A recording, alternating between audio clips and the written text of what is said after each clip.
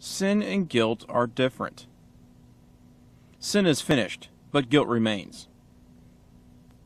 When we break one law, we break all the laws the same. Are we guilty of one law? No. We are guilty of all the laws. The Bible says a person all the law obeys, but breaks one little part.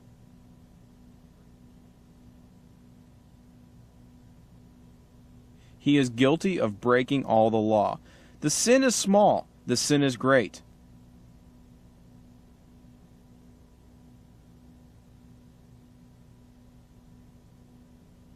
It doesn't matter. People who sin are guilty just the same. Small sins don't seem important, but small sins God still punishes. Why? A small sin disobeys God the same. When I sin, God must punish me. The Bible says when people sin, they earn what?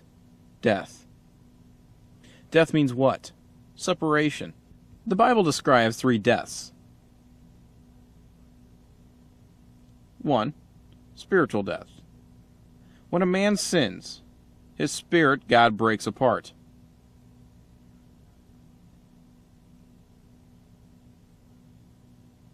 Two, body death. The body and the soul separate and leave. 3. Eternal death. People and God are separated forever. All people are born spiritually dead. Every person's body dies. Some people have eternal death. Eternal death we can avoid. How? Believe in Jesus Christ. The Bible says Jesus rescues us from what?